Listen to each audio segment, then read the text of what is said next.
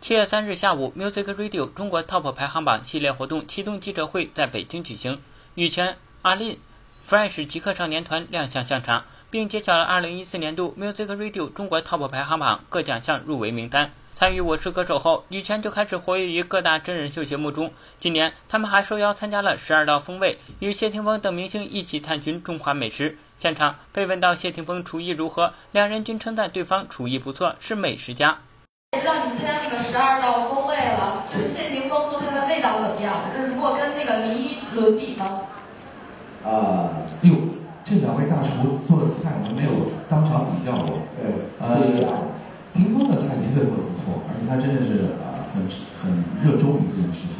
对他是一个很专的啊，然后很很努力，每一件事情，哪怕是在切丁或者切片的这样的行为上，他都对自己斤斤计较。是是是两实的美食专家。看来如今的三人关系也是相当不错呢。不过再回过头来看，羽泉组合是内地流行歌手，而谢霆锋则是香港演员兼歌手，三人成为好友也让人倍感诧异。不过别忘了，三人之间还有个歌手叫做王菲呢。啊，那跟谢霆锋就是也有交集，是因为王菲吗？